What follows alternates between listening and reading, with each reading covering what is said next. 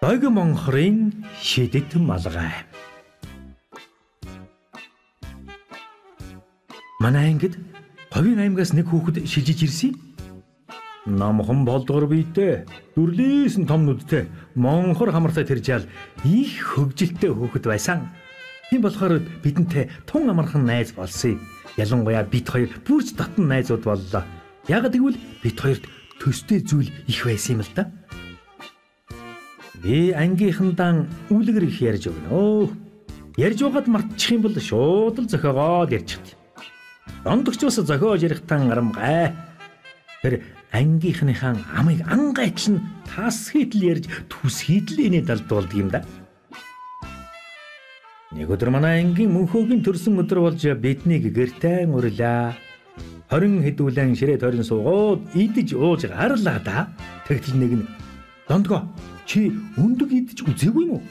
Наадах чинь ёстой гоёмттай. Манай говьд нэрэ өндөг байдгүй байх л доо гэлээ. Тэгтэл дондгийн нүдэн сэргэж ирээд биднийг тойруулан харснаа Оо, би нүний чинь үрлэн чигэрл юм гэж бодсон юм л доо. Энд чинь тэгэд өндөг юм уу? гэлээ. Бүгд тэрнийг гайхан хартал тэр ёор анзаарсан шинжгүй. Манай говийн шууны өндөг хүний толгойн чинээ том байдаг юм л т. Ангаараа дээд чинь нэг өндгийг барахгүй. Билээ.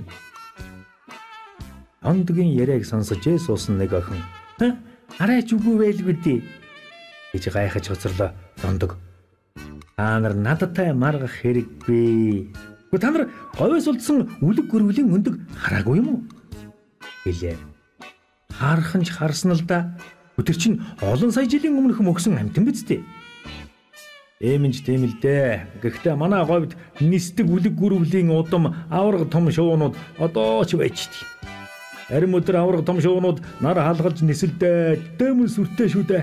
Өндөг нэгж эний данханаас том юм бүр өргөж даагтахгүй гэж. Манай ангийнхан дондгийн яриаг сонсоод гайхан итгэж ядан байла. Тэгтэл Монгойчод гомн даг залж байна шүү. Гих дунаар эргэж харвал мөнхөөгийн ах нь ирж гисэн зогсож байлаа. Энэ өдрөөс хойш дондог маань дог монхор хочтой болж бид юмлвал говь нутгийн сонин хачин яриулах гэж шалдаг боллоо.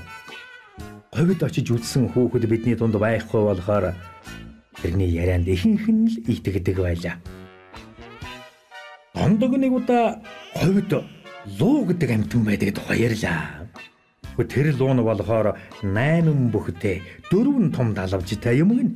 Амнаас нь гал дүрлзээдэл нисэж явдаг гэсэн бас уурал харан ургаамтыг хуурж унтлан сүүлээрэн шахурддаг гинлээ.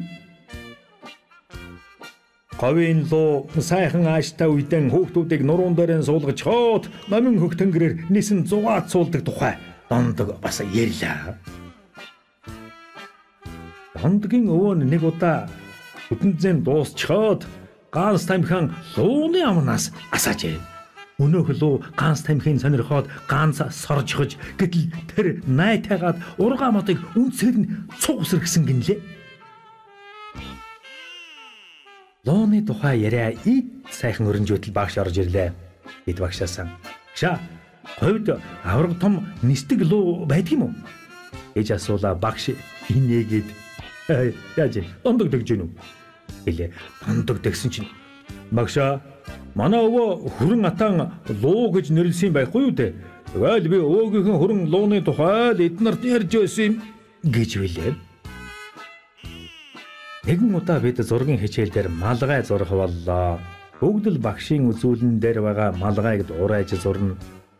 Бид зурсан зургаан үзүүлж байтал багш хондгийн зургийг үзээд. Ой, энэ чинь харин сонирмолгой байх чинь вэ? За хүүхдүүд минь ингэж л урнаар сэтгэж зурх хэрэгтэй юм шүү дээ гэж магтлаа. Үнээр л далбисэн хүрээтэй шовоосон өндөр оройтой хачин янзын малгай зурсан байлаа. Дог монхор багшид магтуулсан дан их падаж. Би ер нь зураач юм уу эсвэл зохиолч болдог ч юм билүү дээ гэж надад хэлж байна. Би завсралгаанаар түүнээс би чи яагаад ийм сонин малгай зурснаа ярьж өгөөч дээ гэж гуйлаа. Тэгсэн чинь дондоо Энэ ч угаасаа миний малгай байхгүй дээ гэж байна. Ангийн охид. чамд ийм малгай ястаа гоё зохиндоо. Чи маргааш өмсөд ирээрээ. Гэт инээлдэж гарлаа. Тэгтэл дондог. Үнэн шүү. Үнэн надад яг ийм малгай байсан юм. Би та нарт малгайныхаа тухай ярьж өгье л дөө. Гэж байна. Тэгээд нүдэн гэрэлдэж байна. Хүүхдүүд сонирхолтой яриа сонсох гэж шавчглаа. Тэгээд л тэр ярьж гарлаа да. Надад нэг гэрлийн шон шиг өндөр оройтой, гэрийн бүр шиг дэрвэр хүрээтэй малгай байлаа. Найзууд маань тэр малгайг марзан шавгар гэдэг байсан юм. Хүүхэд болгон өмсөж үзэх гэж гуйна. Гэхдээ яагаад вэ гэвэл тэр малгайг өмссөн хүүхэд эд шидтэй болдог байсан байхгүй юу? Даанч би тэр малгайгаан гээж гисэн л дээ гэлээ. Дондгийн яриаг сонсож суусан нэг охин яагаад гэж харамсангүй асуулаа. Нэг зам нисэгч ах маань мөнгөн цагаан онгоцон унаад манай нутагт ирлээ. Би гуйсаар угаад ахтайгаан тэнгэрээр жаахан цугаалах юм болов. Уулан дээгүүрч шүнгэн аадал, үүлэн дээгүүрч сүнгэн ээдэл дэм янзтай байлаа да. Одоо болно. Бууй гэхлээр нь би ахаасан гуйж байгаад одомчдын дундуур нисэж дээ. Хэлээ. Ах маань надад дэндүү хайртай болохоор зөвшөөрөхгүйгээ чадсангүй. Би ч яхад онгоцны цонхоор толгоогоо суулгаж хаад л одоо шүүрэн алдаадал шүүрэн алдаадал нисэж явлаа шүү дээ. Яг гэтэл байдгаа. Агууч юм боллоо. Хавирган сарнд марцан шавгар малгай минь өлгөгдөж унаад би толгой нүцгэн хоцсордог байгаа. Малгайхан унгаж гисэн дан харамсаад бууя хаа бууй гэж хашгирлаа. Тэгээд л яг уугаад ирэхгүй юу? Таанч малгайгаан хайгаад хайгаад Олоогүй л юм да. Дондгийн яриаг сонсож суусан хүүхдүүд Ястай жинкнээс хотлаад салж ирэхлээ доо. Гэт анги дүүрэн инээлдлээ. Дондогч бас инээлээ. Дог монхорыг юм ярихад бид нар дандаа л хөгжилдөж инээлддэг юм да. Нэг өдөр ондог маань хичээлдэн ирсэнгүй. Бүгд л тэрнийг үгүйж хараа говь нутгар угаан буцчихсан юм биш байгаа гэж санаа зовж байла. Тэгтэл дондог маань ханиад хурж гисэн юм байжээ. Бид хичээл тараад гэр гэрийн зүг явсангүй. Харин найзыгаан яаж хурдан эдгээх талаар цуглаж суугаад ярьж гарлаа. Тэгээд дондгийн ханиатын эдгээх шидэд малгай хийхээр боллоо. Яг л дондгийн зурсан шиг дэрвгэр хүрээтэй шавгар оройтой малгайг бид хатуу цаасаар хийгээд дээр нь чи бол шидэд үлгэр зохиодог манай ангийн зохиолч одоо бид ч бас эд шидтэй болсон. Тэгээд чамд зориулж нэг шидэт малгай хийлээ.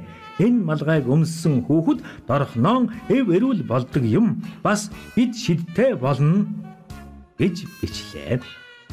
Бид шидэт малгайгаа барьсаар дондгийн дан очлоо. Биднийг хараад баярлаж хөөрсөн дог монхор маань шидэт малгайхан өмсөнгүүтэн эвэрүүл болсон юм да. Харин э, эд шидтэй болсон эсхийн мэдэхгүй болсон ч байж магадгүй юм.